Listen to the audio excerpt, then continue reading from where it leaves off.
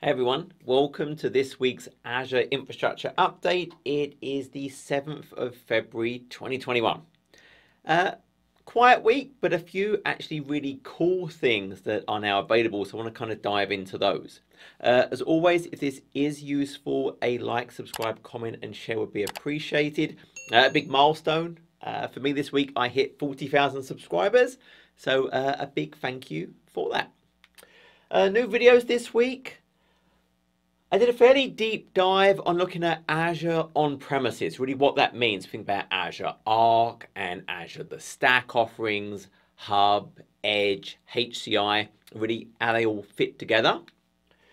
And then just doing a deep dive on Azure Storage Account and Managed Disk Encryption offerings, both kind of for the Azure disk at the disk level, but also what I can do with things like Azure Disk Encryption actually within the Linux or Windows operating system. On the compute side, nothing this week. On the network side, nothing this week. On the storage side, actually a couple of features. So MySQL flexible offering, remember, so the Azure Managed Database offerings now have these new flexible offerings and they give you different capabilities around the types of SKU used. They have stop start capability as well. For the MySQL flexible offering, it's now possible to provision additional IOPS. You get a certain amount of IOPS based on the actual compute SKU you use. I can actually now go above that. So I can provision additional IOPS. It's up to 20,000 IOPS so I can go for some of the bigger SKUs.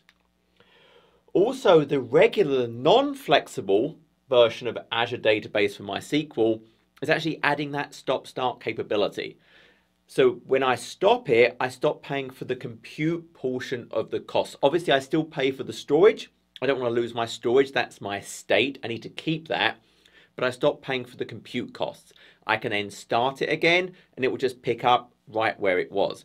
This might be super useful for test dev environments, maybe even production if you only need it for certain times. Then append blob support.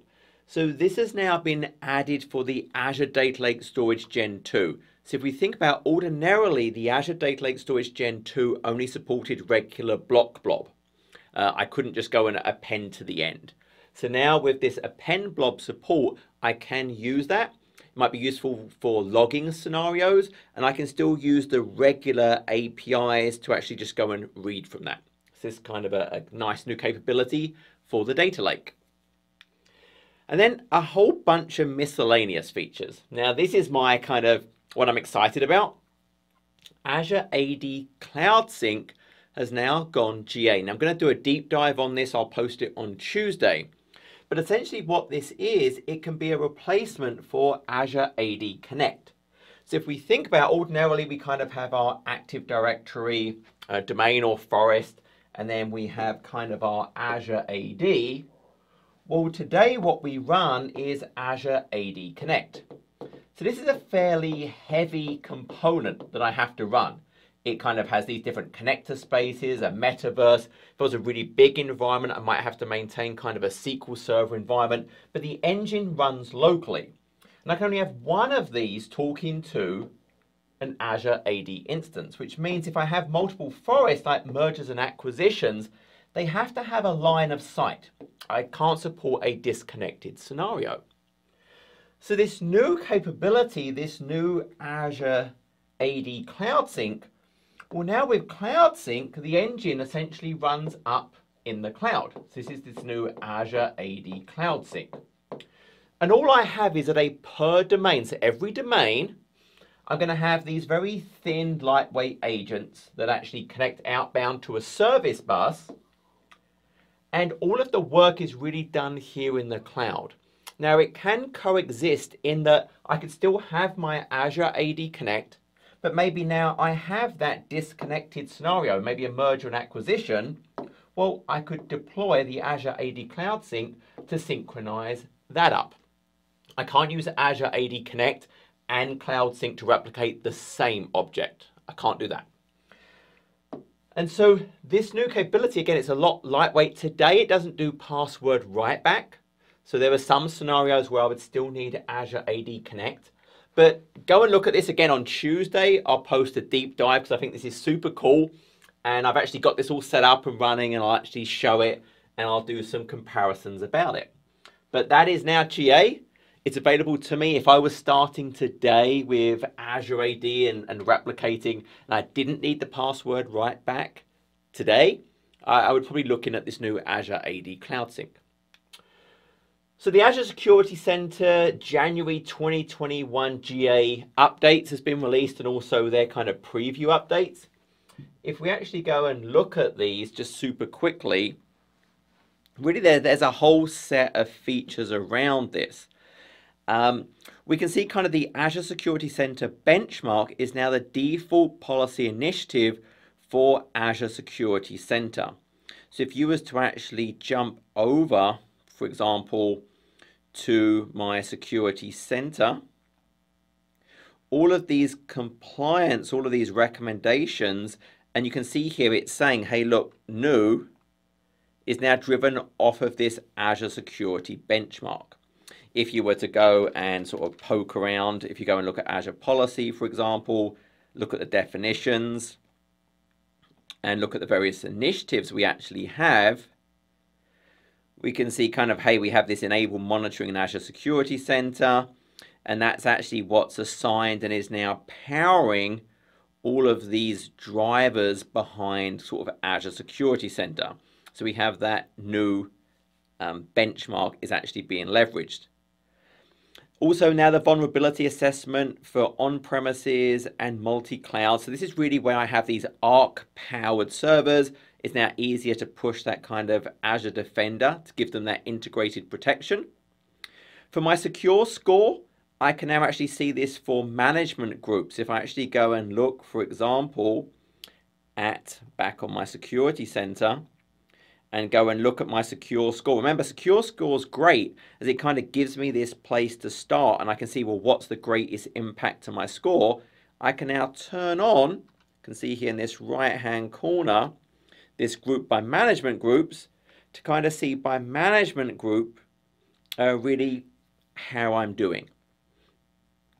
There's also features around, hey, there's an API I can go and hook into, dangling DNS, which is where, hey, I had an app service I had a DNS entry pointing to the app service and then I decommissioned it, well, that DNS entry is still floating out there and maybe someone else goes and take that app service and kind of hijacks it. So that will now get flagged. Multi-cloud connectors, so we're getting Security Center. I can add cloud connectors to things like AWS and Google Cloud. So these are here to actually get, again, that consistent view across all my different clouds. And there's also now the ability to kind of exempt entire sets of recommendations. So, hey, Security Center is telling me, hey, you should do this. Well, I can actually go in and fire off an exemption. You can see here in this kind of top left. And I can exempt at different levels. I could say, well, look, exempt the entire subscription, management groups, selected resources, and then in future, those would kind of show as kind of these not applicable resources. There's the ability to request tenant-wide visibility for global administrators, 35 preview recommendations to increase coverage of Azure Security Benchmark. You see all of those here.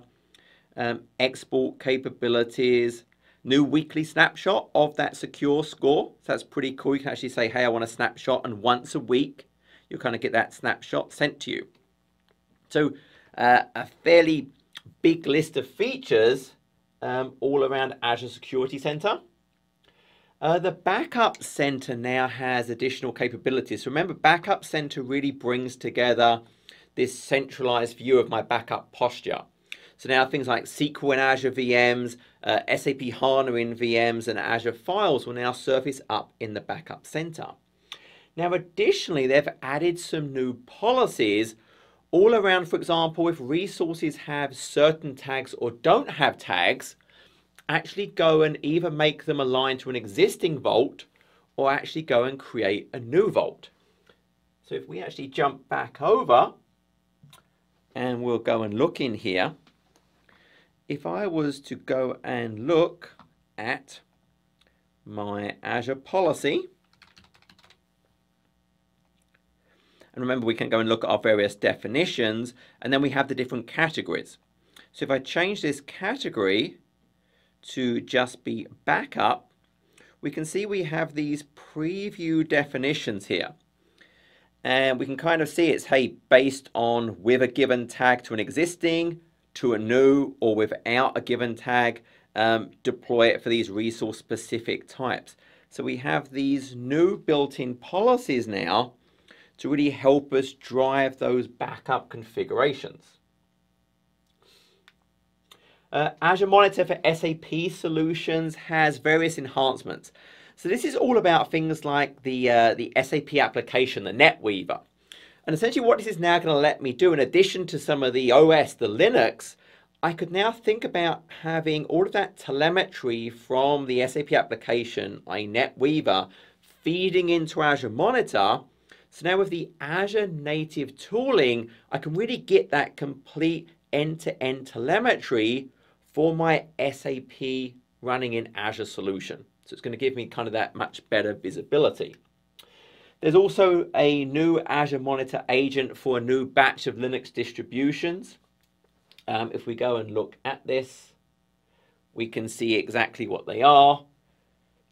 And as we can kind of see, hey, these all these latest distributions. And again, these are all built off of the new data collection rules. So once again, if we were to go and jump over, and if we looked at Azure Monitor, the data collection rules, so we're going under settings, and I can see data collection rules. These really give me the capability to now focus on, well, what do I want to collect from? What do I want to collect? So what types of um, counters, what types of logs, and really where do I want to send it? So these new uh, Azure Monitor agents are leveraging this to actually drive what are they collecting and again where we're sending it to. And then it's really about certifications. Um, so Microsoft Azure has achieved the PCI 3DS certification. You can actually go if you're really bored on a Saturday night, you can go and look at the certification kind of trust portal.